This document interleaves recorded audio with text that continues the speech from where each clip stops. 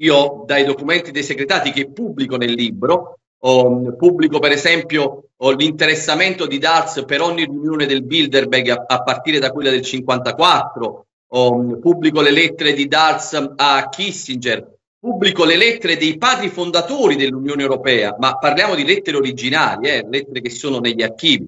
Per esempio pubblico la lettera di Churchill a Dals, eh, ad Allen Dals, in cui dice ti ringrazio oh, per uh, portare avanti il progetto di Unione Europea. Eh, a sua volta Dals scrive una lettera a Rockefeller ringraziandolo per i fondi che eh, la Rockefeller Foundation sta dando alla CIA per la creazione dell'Unione Europea.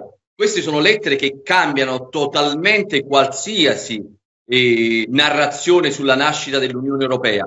Altro che Ventotene, altro che Spinelli, altro che socialisti in fuga dal fascismo. Le lettere più significative che io pubblico sono quelle anche prese dal diario europeo di Spinelli, dove Spinelli confessa di essere dovuto partire per Washington per andare a parlare con i vertici della CIA, a cui ha dovuto sottoporre eh, i, il suo progetto di Unione Europea, lo scrive Spinelli nel suo diario. Ovviamente lui non parla di uomini della CIA perché non lo erano ancora.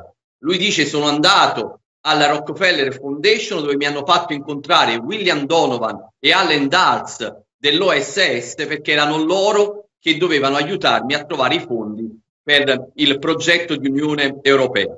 Allen Dulles e Donovan diventeranno poi i più spietati capi dell'intelligence eh, americana. Quindi capiamo perfettamente che il progetto nasce da lì e ce lo raccontano i padri fondatori.